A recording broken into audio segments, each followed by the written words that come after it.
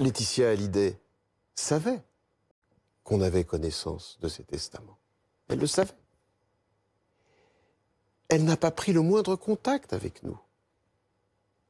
Elle n'a pas fait le moindre pas vers Laura et vers David.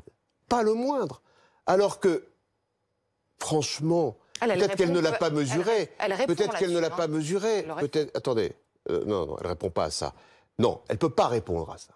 Elle n'a peut-être pas mesuré, mais elle aurait dû mesurer, me semble-t-il, et je suis persuadé qu'il y a peut-être part de malentendu là-dessus, là-dedans, que c'était extrêmement violent. Non, elle ne répond pas à ça. C'est objectif.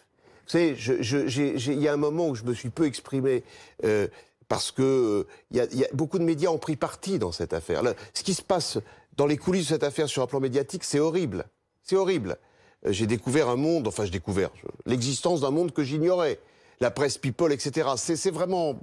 Bon, ça n'a pas grand intérêt.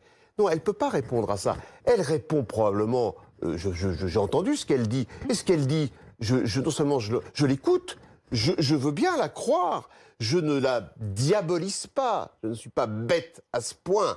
En revanche, je dis non. Je ne peux pas répondre parce qu'il n'y a pas de réponse, ce sont des faits.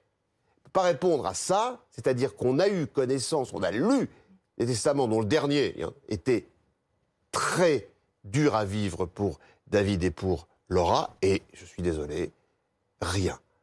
Voilà, rien.